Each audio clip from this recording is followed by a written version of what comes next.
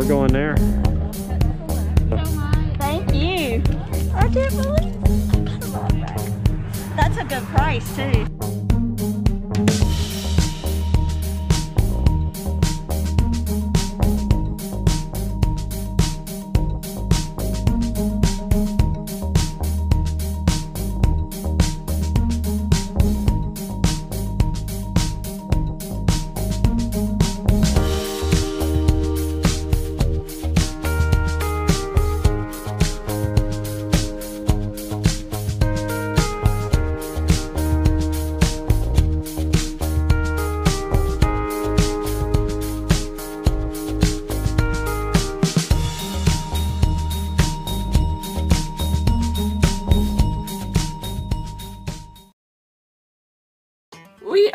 Prepping for the season. It's just a little basic wiping down Gotta and put this cover back on. couch covers going back on because we washed it. Some little things like that that we're getting done here in the camper.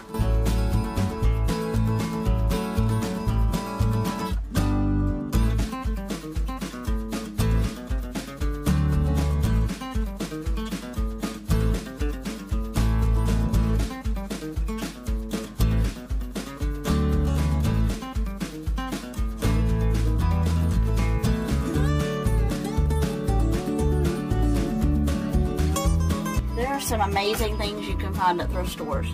I found this little picnic set and it's got plates and silverware and it just zips up in this little pouch. You can just throw it in your bag and everything's not going all over the place. Is that not the coolest thing? And I found it at a thrift store. If this is gonna be tight, Do you want to put these somewhere? These can probably go under the bed. And do we have room for this? This just we don't use those all the time. It's amazing what you accumulate. Dang. Yeah, over time. But the kids aren't with us anymore, so I mean, you've got this whole closet now. Try under the boxes. Look at it. Well, here's another idea. And I'll be honest with you. Um, Because they can't, they won't go everywhere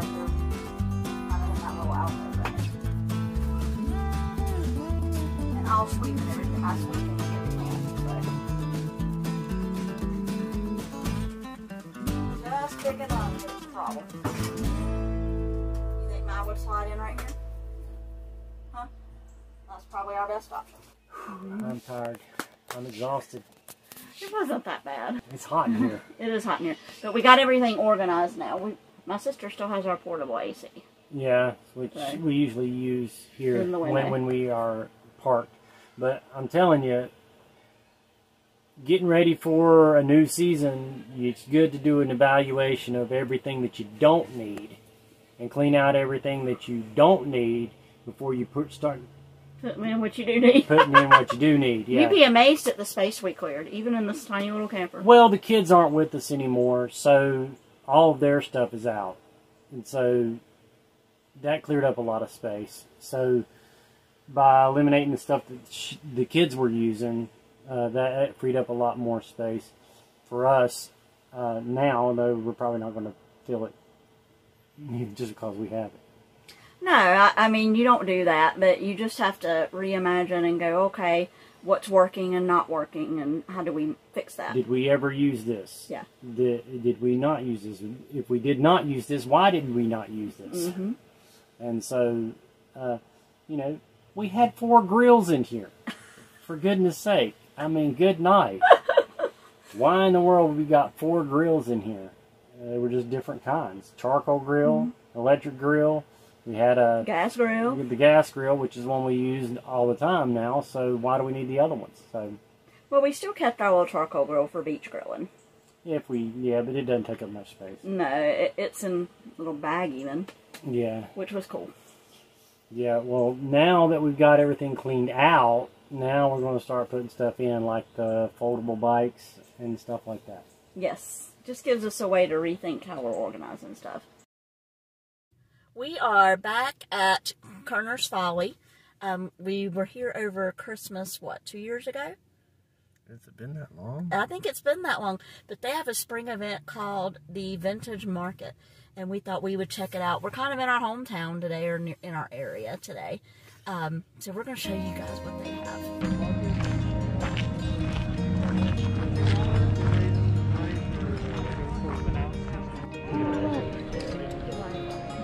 Oh, these are cool.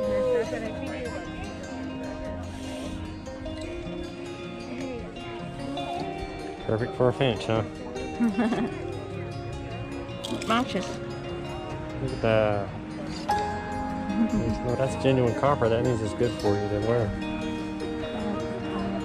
You like the pearly ones? Pretty. Look at that. We're going there. Yep. Oh, I love this. I would love this on our front porch. What? Hey, y'all. I love it. Yeah. Hey, y'all. How much is this one? Baby. Let's. It's the last one I have of the hey, y'all today. I love it. I'm good. I heard you Oh, look at this. Yes, I use a lot of random stuff, a lot of hardware and buttons. Isn't mm. that cute? What's this made out of? What's the metal? it's a mixed metal. It's, there's no nickel and there's no lead. So the mixed is usually going to be a steel base.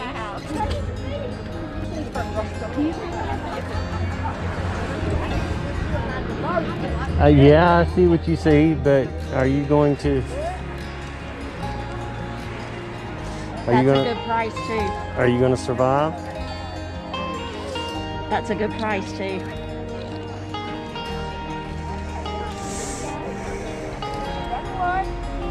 I love the anchor. Ooh, Yeah, but I think you want the anchor. you think the anchor? Uh huh. Thank you. I can't believe I kind of love that. That's a good price too.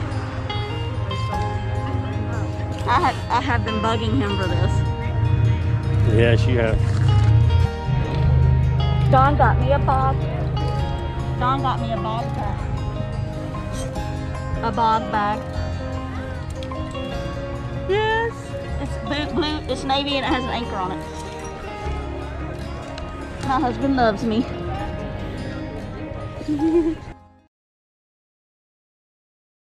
this is J Pepper's Bar and Grill in Kernersville. Looks pretty cool. It is very good. Very good fried green tomatoes. Oh, really? Yes. Fried green tomatoes. We had those in West Virginia. Yeah. That's the first time you ever had them, dude.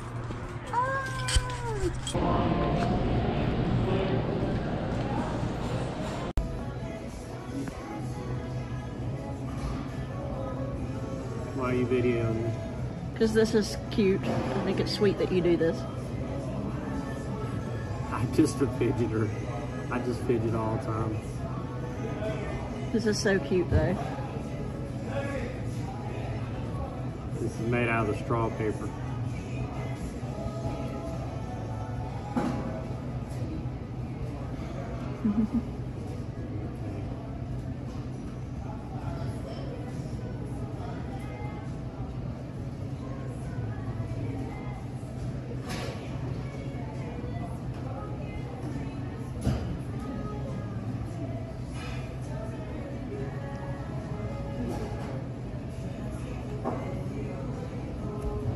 That is too cute.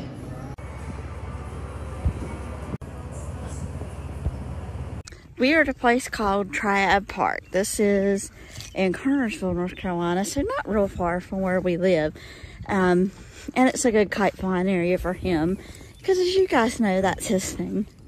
Um, and we have this space behind me, if you can see that. And it is a um, military memorial. Uh, they have different things for each branch and each uh, war.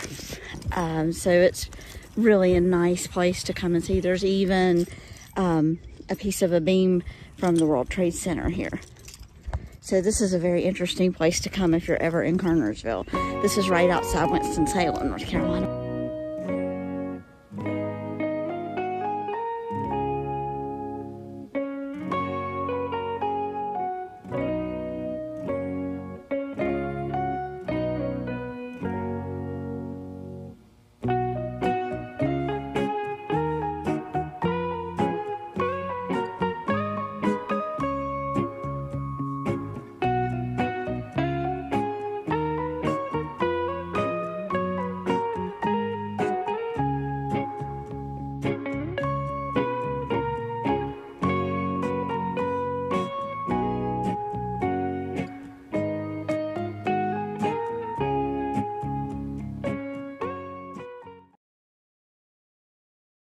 As we're uh, settling in on this beautiful spring day, uh, enjoying the sunset, uh, we're going to tell you about what we're doing uh, with the Route 64 tour. Uh, one thing about living here in central North Carolina is that you're just a little bit away from the coast or the mountains. And we're going to be doing it all this summer. Yes. That's one of the big things that's the advantage of the Route 64 tour. You get to do it all. We get to do it all. So we're looking forward to showing all that to you. I tend to lean toward the beach. and I tend to lean more towards the mountains. And so we're going to be getting both of that uh, this summer. I think that it's, I think it's better to be up in the mountains. It's a higher altitude. It's you know cooler air up there. You get to go hiking, see the waterfalls. Waterfalls are everywhere up there on Route 64. And that's all great, but I do love the coast where you can spend a relaxing day on the beach, you can go out, Your favorite place is, the Outer Banks. which Yes. is where the Route 64 tour starts. And we look forward to sharing all of that we do. We've got so much lined up this summer. We do. Uh, I think that the mountains are still better because, uh, first of all, that's my family. My family heritage is in the mountains. My mom was born in Boone. You know, it's it's just in my blood. You know, I've I've gone to the mountains all my life, and we always went to the mountains. Every few days we were going up there to those mountains. We spent the night at my great grandmother's house. And it's so funny because even though it's not in North Carolina, typically our summer vacation was to Myrtle Beach, Right. which is really odd because the Outer Banks is so much better. You like the Outer Banks better than Myrtle Beach? Oh my gosh, any day of the week and twice on Sunday. No contest. No contest. huh? No contest. I'm so excited. I can't think. Yes, this has been his brainchild. He's been so excited about this. Uh, this is what inspired the Route 64 tour. Uh, if you recall in Cars 3, they mention Thomasville. That's our hometown. And so in Cars, a lot of the story is about how, like, I 40 changed everything, and, and you know, Radiator Springs in the movie turned into a ghost town because they got bypassed by the interstate. Well, Route 66 doesn't even come out here to North Carolina. So the mother road of North Carolina and all the way even to Arizona that crosses I 40 more than any other highway is Route 64. Now, Route 64, though, because of its major attractions there, has maintained its popularity. And so many of the towns have been able to survive, uh, even though the Interstate 40 does not go through it, through them anymore. Right. So this was his brainchild to kind of go all the way through it so that we can share it with our viewers. and it's going to be an amazing tour. It is going to be amazing. I'm really looking forward to sharing that with you. Uh, we've been doing a few things today. We went to Kernersville, which is not part of the Route 64 tour, and we went to eat at a place called J Peppers. J Peppers. Yes. And what is it about J Peppers that you like so much? The fried green tomatoes. Fried green tomatoes. And I got shrimp and grits. So I got my southern girl on today. Yes, you did. So you'll be hearing all about it because I'm a foodie. Yeah, and that's another thing that too that we're going to be doing as we go through each town. We're going to be telling you the highlights of places to eat, uh, things to do, attractions to see, what is there, what's available, campgrounds to stay at, and and and the highlights of each and every town. Like like Wilson, for instance. Yes, they've got the barbecue, but they've also got the Whirligig Park. Uh, which is a really amazing attraction that is there, the Vollis Simpson Whirligig Park, that many people don't even know about. And we really enjoy visiting that. It's just this little kitschy thing that you might miss if you don't take your time. And there's so many hidden stories that are in the normal everyday things. Like here in Thomasville, I did some research on the history of this place, and there is a beautiful love story built into the history of Thomasville. one more thing that I want to tell you. We are going to have Route 64 merchandise available to help with the expenses on this particular series. We are going to uh, be offering merchandise uh, through Patreon.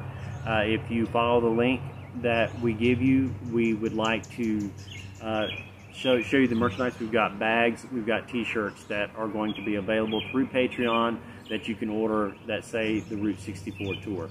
And if when you give your donation, that does help with the expenses of the trip. So look forward to that, and uh, we'll see you next time. So hit that like and subscribe button, and until next time, happy camping. Happy camping.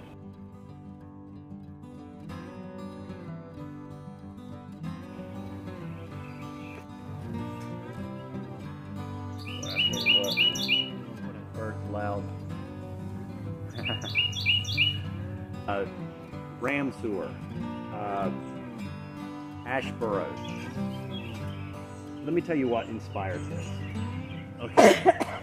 After she stops that. Uh, Summer's going to be amazing. We're coming out of this COVID stuff. So we're looking forward to sharing this all with you. okay, and I'm going to be editing a lot of this out, so don't worry.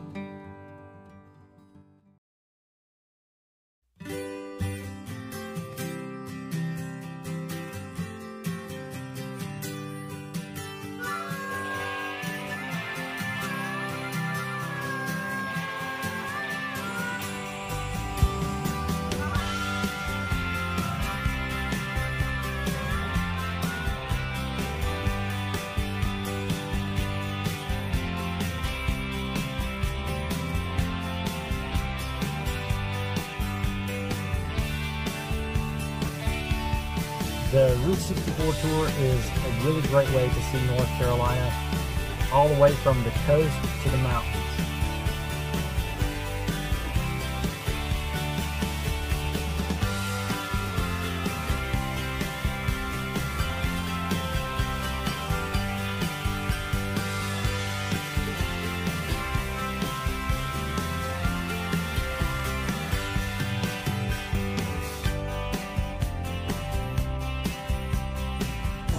At Chubby's Tacos.